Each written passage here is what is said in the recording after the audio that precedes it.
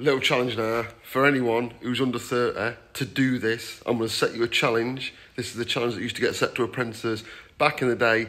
I've not seen it done for a while, so I'm going to try and bring it back. And it involves conduit bending, which is indeed a dying art. Let me show you the challenge. That, you crazy kids, is a conduit bender. You're going to need one of those. That there is a 4.7 metre length of conduit 3.75 metre length conduit, you're going to need one of those. And you're going to need some of them. They're called stocks and dies. If you've never seen them, you need to get some practice in before you try the challenge. But I know a few people, Beth got me onto this because I saw her showing off her conduit skills, yeah. I'm going to show you, back in the day, how we used to challenge the apprentices. Now, I appreciate the conduit's expensive nowadays, but just have a bash, yeah? First of all, when I started, I worked for a guy called Harry Parra. He was a complete bastard, but a lovely bloke. And first of all, he'd get to make bits like this, yeah? And he'd say, 80 to back of bend, which that is, I just bent that, yeah? And then, once you've done your 90s, you move on to your sets and stuff like that. When you've done sufficient sets and you've got confident enough with measuring, you would take the challenge. That means you are a proper Sparky who can do conduit. And the proper Sparky challenge is to make a sledge out of a 3.75 metre length of conduit and on one end of that bit of conduit before you even start, you tap a runner. If you don't know what a runner is, you're not suitable for this challenge yet. Go and find out. You tap your runner on the end of your 3.75 length of conduit, then you get your bender out, and after that, you never need your stocks and dies again. And I'll show you what you have to produce. This, you crazy kids, is a sledge. Now you can see how it's formed, yeah?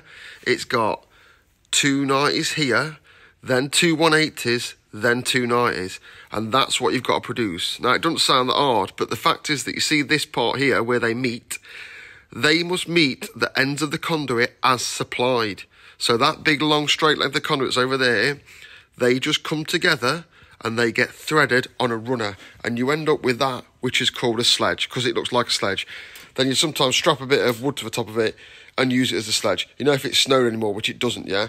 But that's the sledge challenge is to produce one of those without cutting the conduit with a hacksaw just tap your runner and bend it, and I'll give you a few little pointers.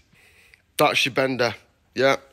It bends down, it doesn't just bend down. Also, when you are bending this shape, you have to be aware of what bend you're putting in in what order. So you usually work from the centre point of the conduit, which ends up being this lower level here.